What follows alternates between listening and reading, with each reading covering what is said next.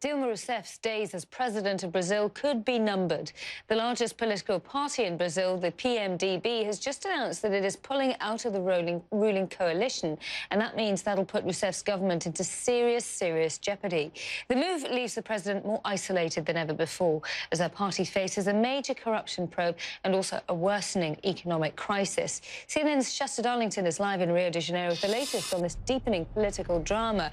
As Shasta, the big question I suppose everybody has now now is, is this the end of the road for Rousseff and her previous boss, Lula? Well, Nina, frankly, it's increasingly looking like that. Uh, most analysts are putting the chances of her falling at, at, at least 90 percent.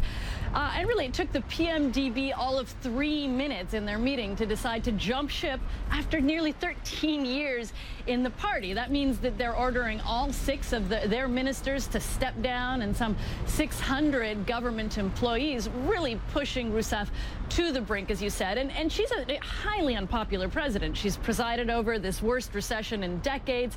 As you mentioned, her party and her coalition are engulfed in this corruption scandal.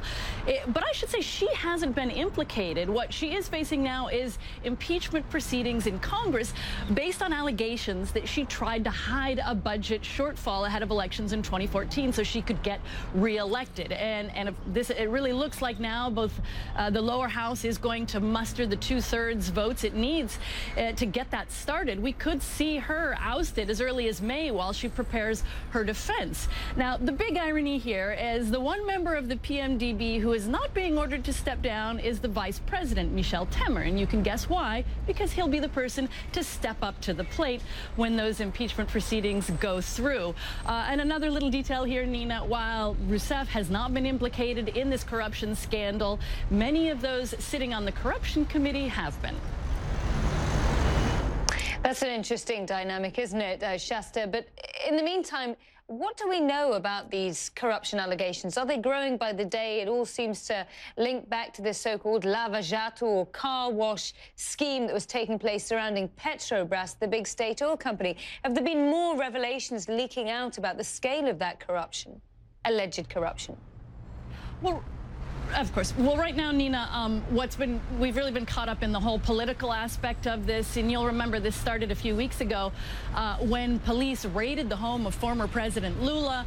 They took him in for questioning, and shortly afterwards, Rousseff uh, appointed him her chief of staff. Then this legal wrangling started.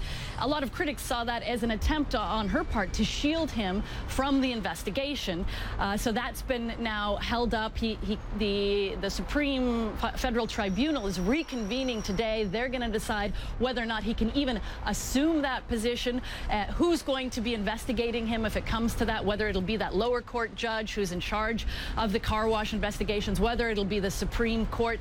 Uh, we could actually hear decisions on that as early as today, though it could take a little bit longer. So instead of moving forward in that investigation, we've really seen it getting caught up in this whole political crisis, Nina.